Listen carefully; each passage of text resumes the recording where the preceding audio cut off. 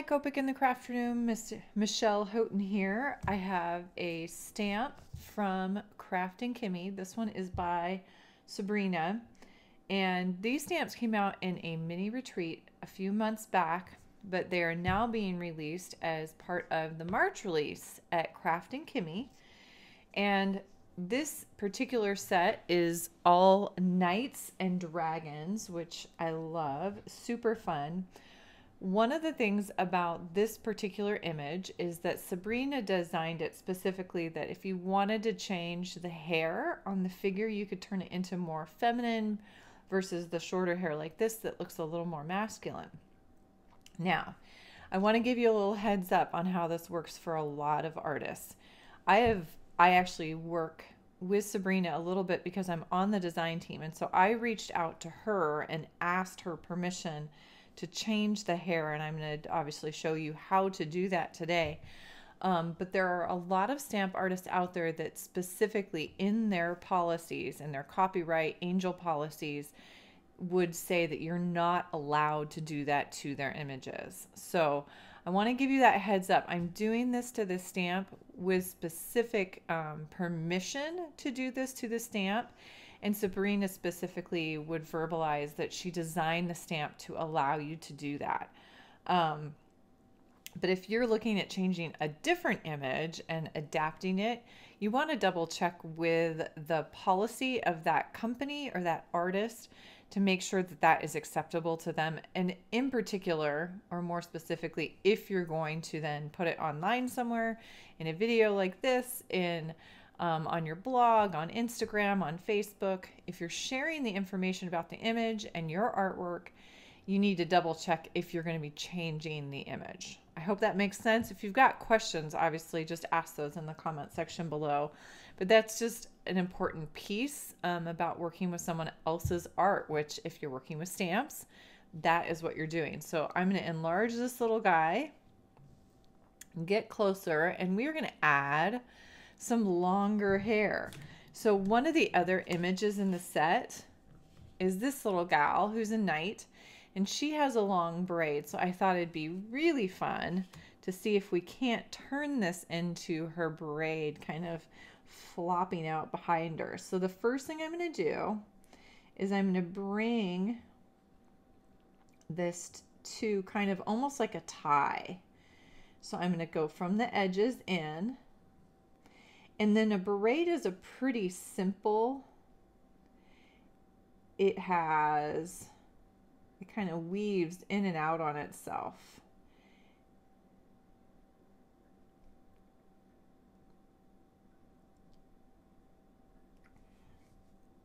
and then it's going to come to another tie. But I'm thinking I'd really rather it kind of reach back this direction. So I'm to change that direction of that initial. And I can take this out and up just a little bit. There we go. So I've just changed the direction of where that's going.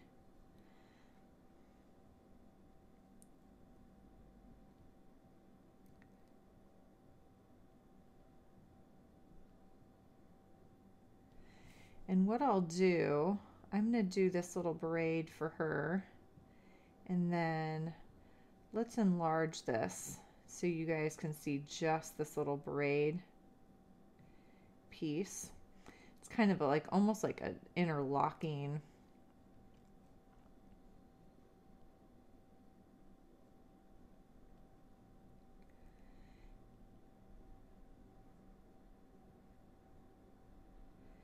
We're going to come down to a tie and she'll have that little piece at the end. I'm thinking...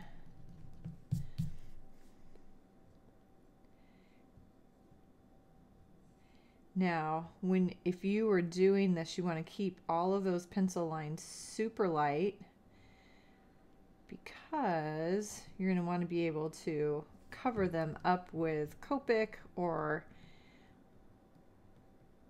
erase them to the point that you can barely see them so that you really don't end up seeing those pencil lines. So.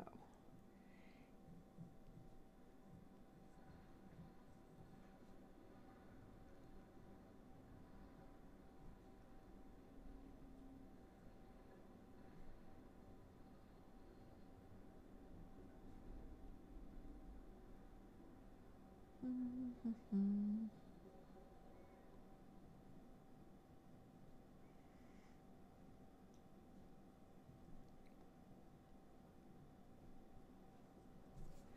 All right, so there's her little braid and we'll do some coloring here in a second. So a braid, and let me zoom back out here a little bit and I'll sketch on here and then we'll find a clean piece. So remember a braid, if you've ever braided hair, is three pieces. So think of it in terms of we've got one piece that works its way around and it's folding into another piece, right? Which is folding into another piece.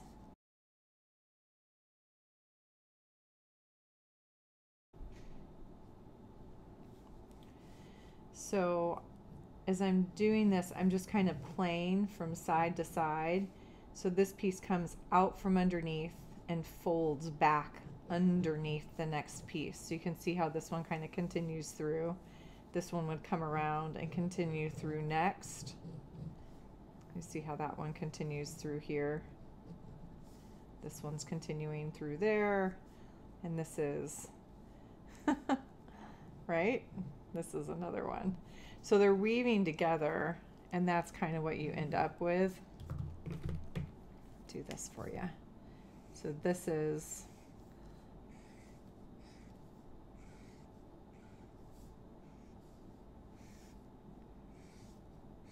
kind of what that braid looks like in a really big version of it, but that's what's happening. And so that's, and what you see on a lot of these images is it kind of closes into this nice kind of curved where it comes to that tight point where it tucks in.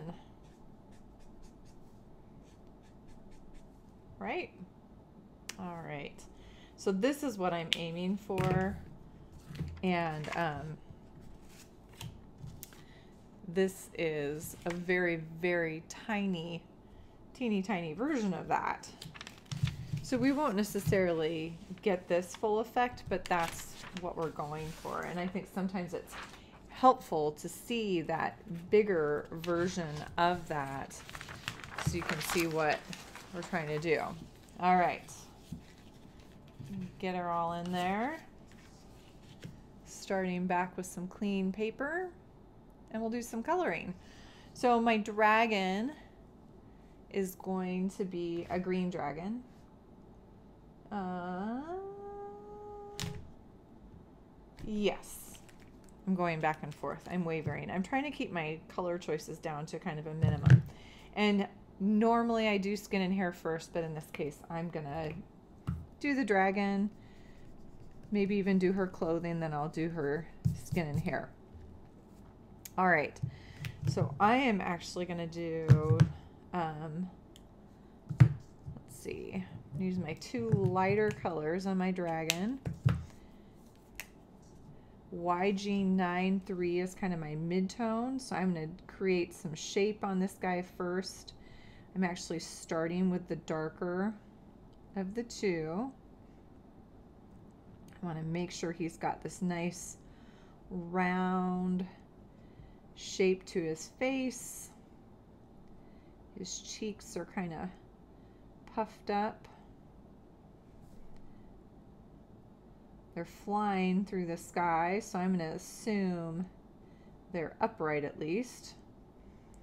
So he's going to have darker coming from the underneath up towards the top, which would be catching light. He is a combination of cylinders and spheres.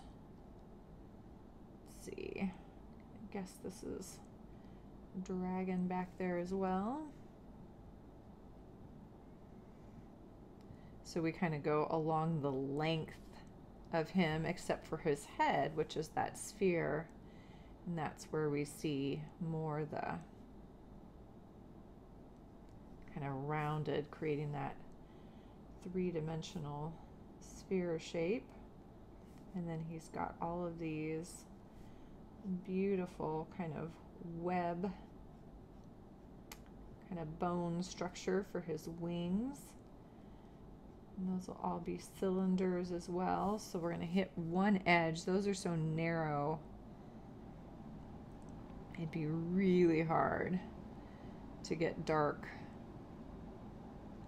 more than one side. So we'll kind of keep it along one side. We could probably go underneath the girl's arm and hand. There we go. And then I'm going to fill in most of the rest of the dragon with this lighter YG91. Let's see, where can I put this that's going to be out of the way of my hand, but that you can see it. Let's see if that works. We'll see.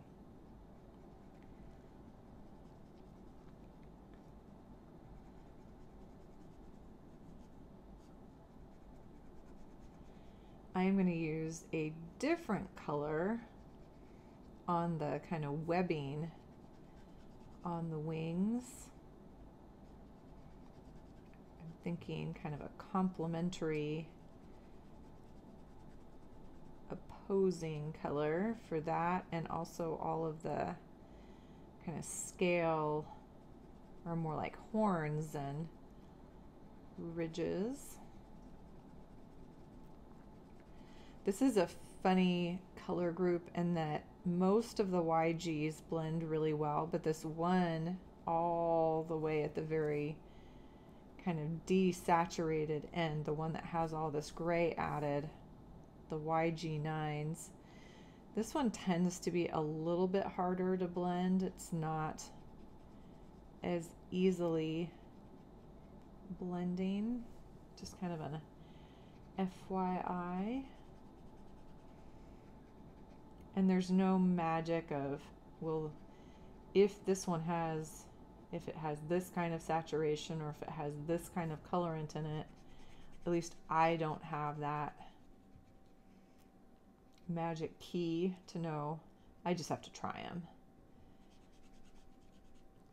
I'm being reminded as I color this image that these don't always play quite as nicely together. Okay, so that was YG91. I'm going to use a little bit of YG95 and I'm going to come in and I'm going to hit a couple spots because I do want to kind of really emphasize some of the shape. So I'm not going to go many spots, but I want to push a few of these little places back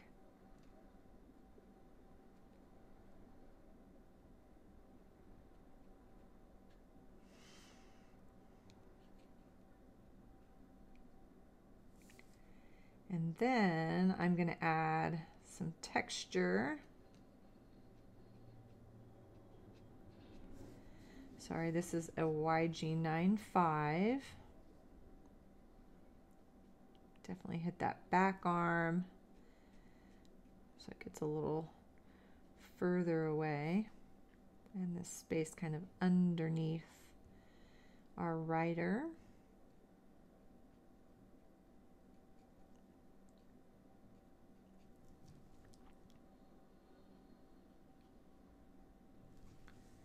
There we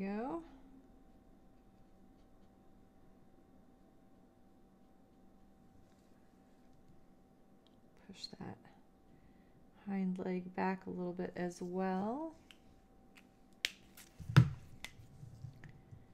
Hit that right right away with my YG 93 and I think this is going to be, it's not going to be perfectly smooth, but because I'm going to come in and add that texture, it might be enough. I might not need to hit it a second time with the YG91.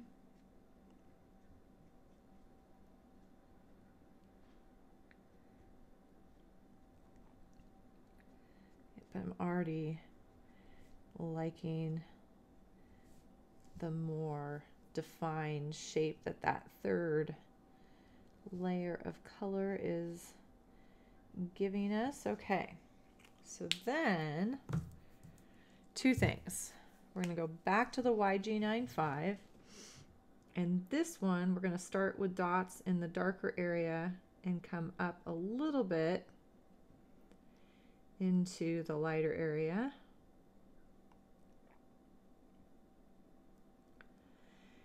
Because this image is small, I'm keeping my dots pretty small. Um, kind of up to you.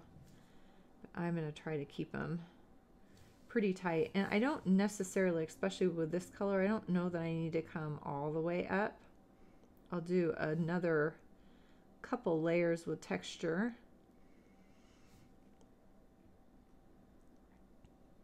So this one's going to stay mostly in that dark to kind of mid-tone range. If you want to do some of that lighter area, kind of hang in there and we're going to do some of that too. So if you want to keep that texture going, we'll get there. But we need to switch colors for that. So just a second. Okay, so that's kind of, let's do a few right across this little snout. There we go. I'm going to do one more YG93. This is my second layer of texture, this time with the mid-tone that I used on the dragon. And this can go up into the light. So if you really want him to be speckly, kind of scaly looking, now notice I am coming all the way back into the dark and then extending these out into that lighter area. This is one of the main reasons I'm doing the dragon first is that if I bump into the cape and the our dragon rider, it's going to be okay because I know I still need to color her. So when I'm doing a really extensive texture like this, oftentimes I will try to get it done first. So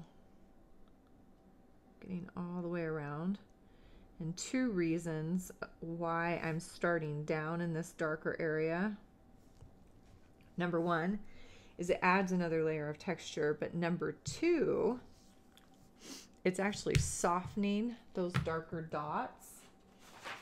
And then my last step is going to be to soften them even more. So I'm going to come in with my colorless blender and I'm going to slow my pen down a little bit. Now these dots are pretty small that I did with my yellow greens. So I'm going to try to keep my dots with my colorless blender small as well. So even though I'm holding the marker for a few seconds, I'm just holding that little tiny tip.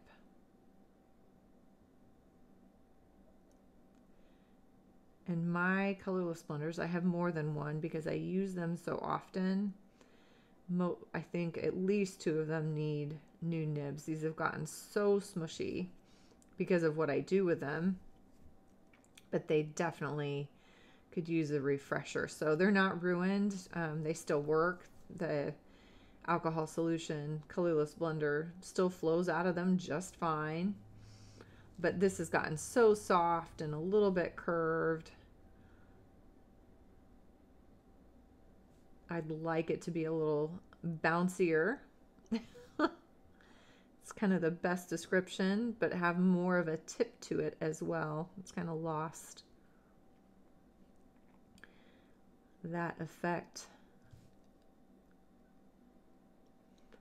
So the fun part about texture to me of doing a texture like this is you can you can play with this for a while. You can decide this is too much texture. I want to smooth that out a little bit.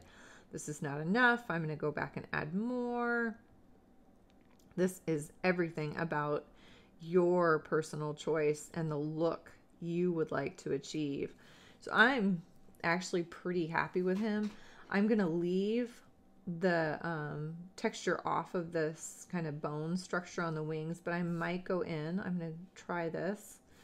I'm going to go in and just lightly brush through that highlight. And my guess is it's going to pop that color just a little bit more, brighten up that highlight, make that stand out. Yeah.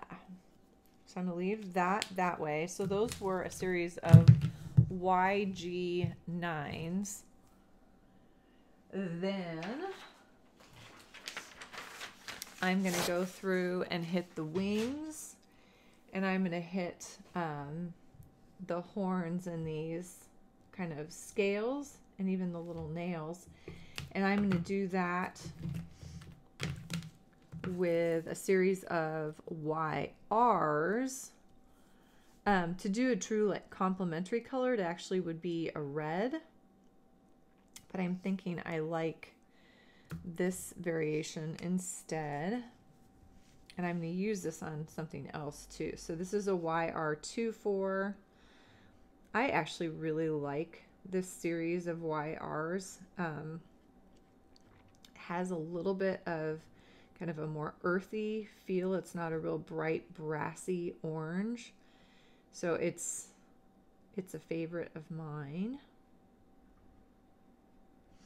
So again, I am actually kind of going in reverse. I'm using my little bit darker color first. And I'm really, I'm probably only going to use the two, two colors. So I'm going into the edge because I think it's going to dip it tucks in because it's tucking into that structure. But then where this, where the wing piece kind of pulls back in, it might dip a little bit. So again, you can completely play with this and have the viewer seeing it kind of the way you want to see it. Or you want them to see it, however you want to say that. So we're adding a little more detail to these today than I normally would. This is YR21.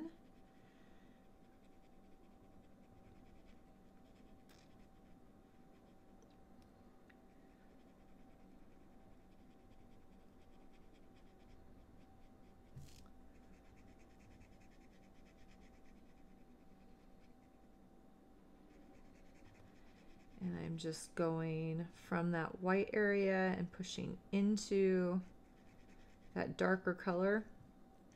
Depending on how long this takes you, you might have to um, go all the way into that dark area so you don't have a watermark or a wet kind of line where the wet meets the dry. So kind of keep an eye on that. If it looks like it's kind of stopping short and just creating an edge. Just go all the way to into that black line, all the way over that YR24.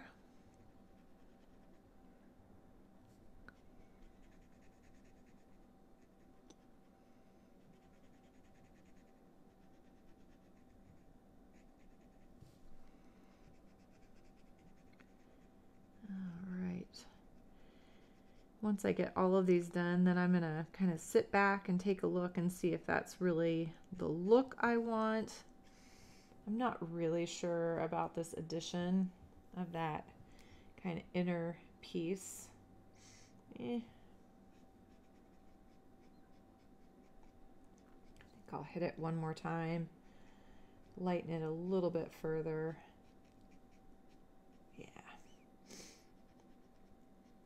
I like where it gets dark at the kind of right at the structure of the wing, but I'm not sure I like it in the middle. So take some of that back out. This is that YR24 again.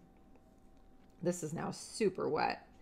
So if I'm really good about my light flicking motion, I'm not going to have to do any more blending. I can take this and flick it across that wet ink and it's going to blend for me even better.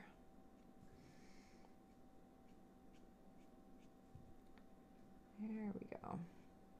Yep. Like that better. All right. And then you can see which one was dry.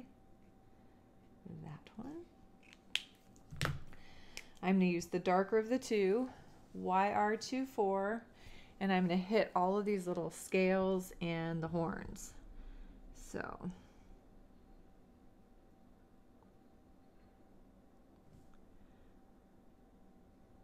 The horns are kind of a cone shape.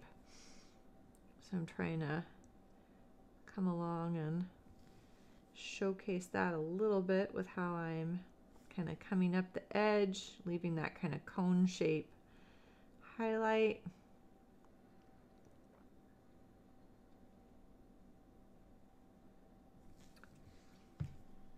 Hmm. Same YR24, I'm just going to fill in. We see these one little group of kind of talons. Horns. Horns.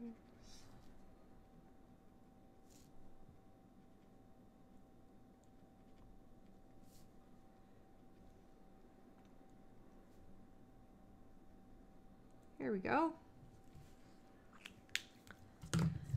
my eyes are got one contact that's not cooperating today, so I think I missed the tip of his tail.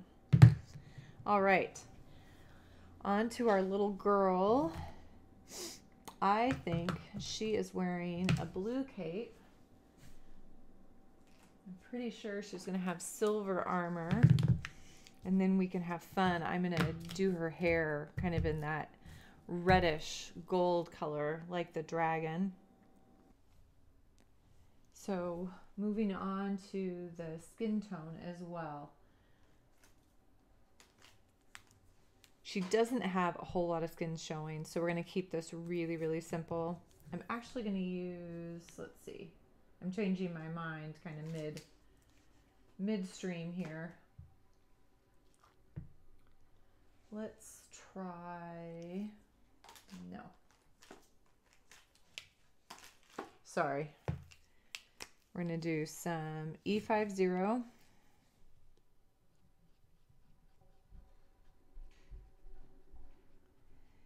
And you can decide if she's wearing a glove or not. Um, I'm going to say a glove because she's holding on to a dragon. I think she might need them. And then I've got an E21. coming in from the side of her face. She has a spear for a head as well. And then I'm going to give her the hint of a nose. Because I think most people should have a nose.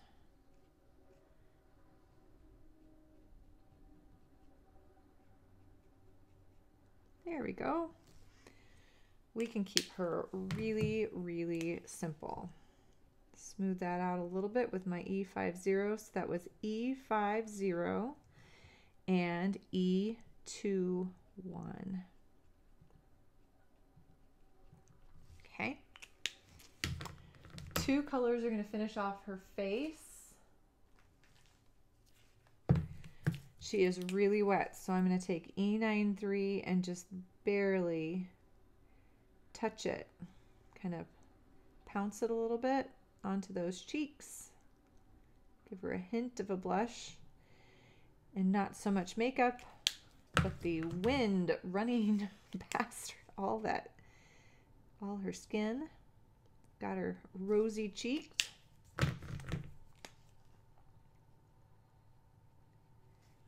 And then I'm going to do one other thing. I'm going to use E04 to fill in her mouth.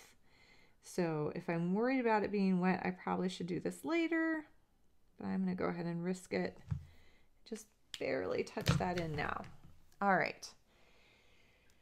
Cape and armor. Let's do the cape first. That'll be fun. B23 is going to come in and hit the folds where it's dipping down away from the viewer.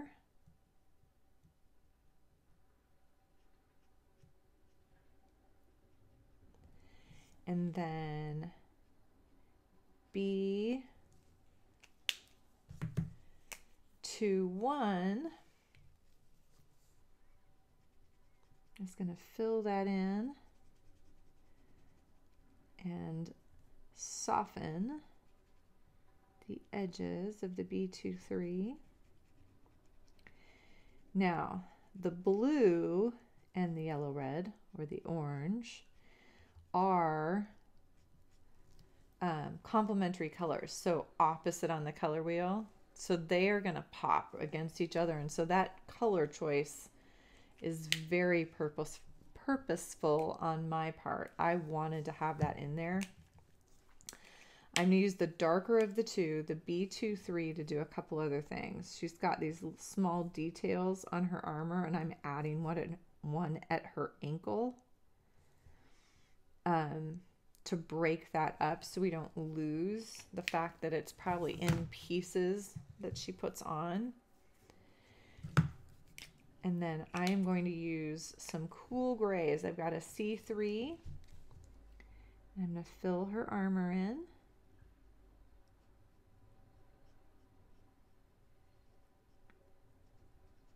Her chain mail.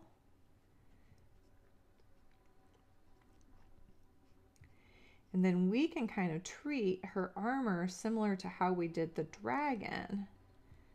So what I'm going to do, because remember it, a chainmail is kind of that, those little tiny links all linked together. So to me, it would look almost like all of that dragon scale.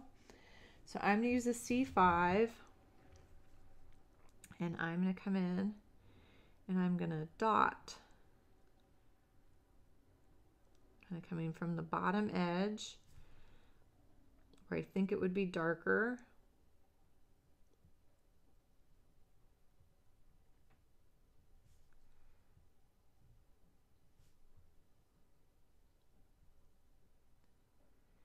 Again, she's going to catch light as the sun comes down on top of them.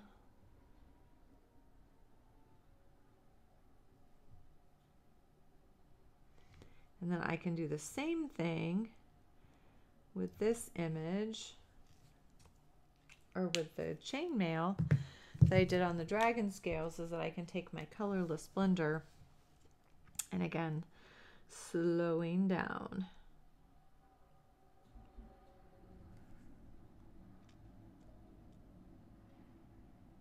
And I want to keep that those little dots very very tiny I mean this is a whole per person and what is that an in maybe two inches? Inch and a half? So tiny person so that chainmail is teeny teeny tiny. It wouldn't even be as big as what I'm doing here but we're giving it that sense of texture.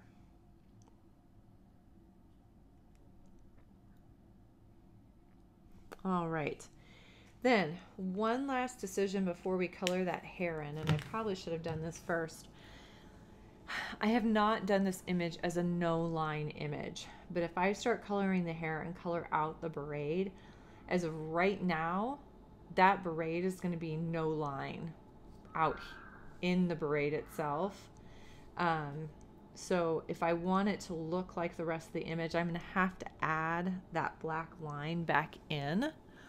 So the easiest way to do that is to go ahead and grab a multi-liner and the smarter choice would have been to do it first so that it has time to dry while I'm doing all the other coloring, but I did not do that. So this is a 0.3 multi-liner Copic multi-liner. And I know I can color with my Copics over the top of this, and so that's why I do use this the 0.3, I think for a lot of people is a good width. The 0.3 describes how wide that little tip is. And it's a little bit stronger, so if you tend to be a person who presses pretty hard, this is going to work pretty well for you. Um, you can use one that has a little bit more of a, um, a finer tip, but I also want it to look about the same width as the line of the stamps. Now this is probably a touch smaller, but not a whole lot. So you can you can debate that one either way.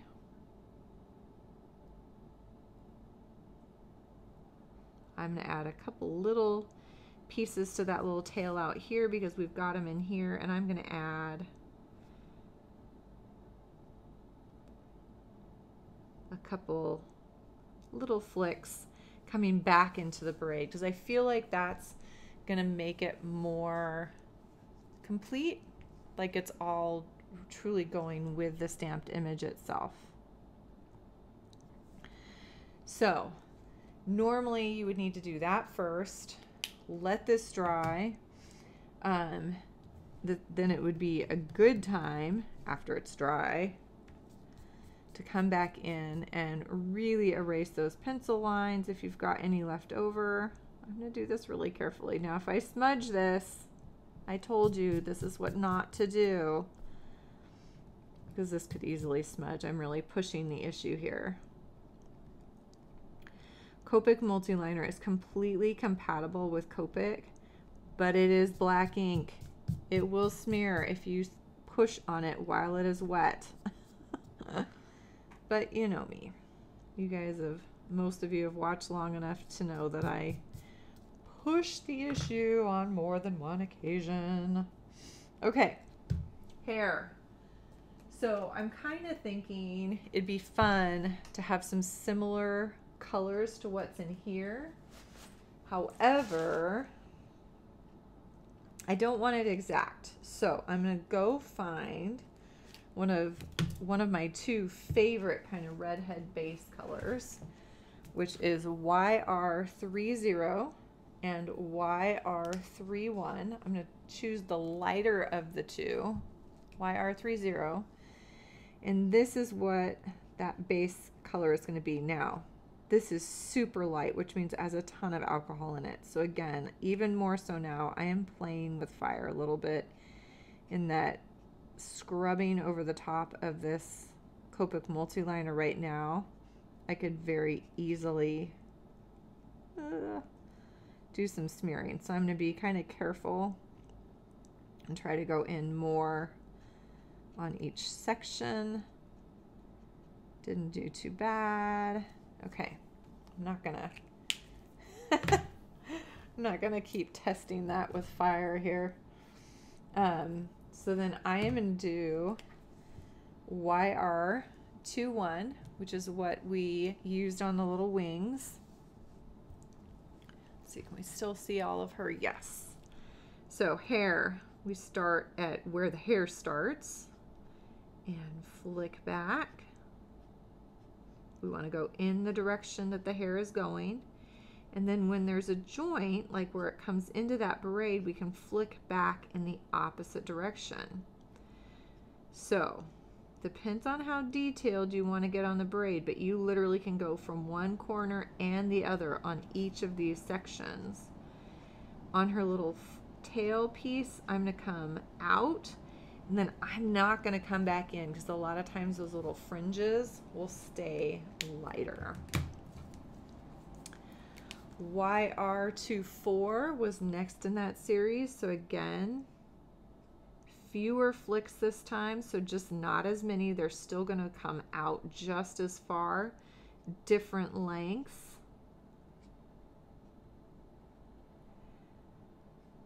There just won't be as many flicks this time. I'm going to say this front part is almost like her little bangs.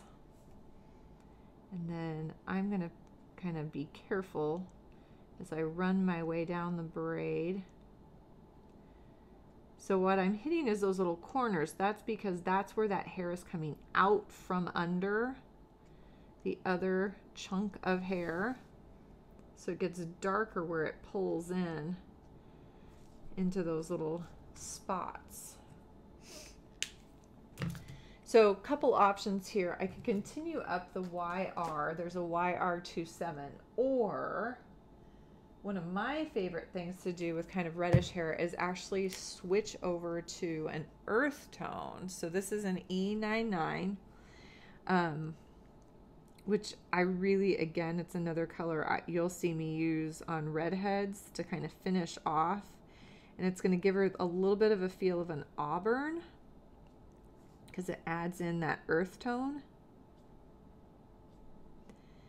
And it kind of to me, it makes it less brassy, less orange. And it really softens, but it still has that beautiful kind of red undertone to it. All right. Two things. I'm going to skip the YR24, but I am going to go back to the YR21. And I'm going to start in the dark area and flick into some of these lighter areas really lightly. It's going to soften all of those dark strokes. So I don't really see flicks anymore.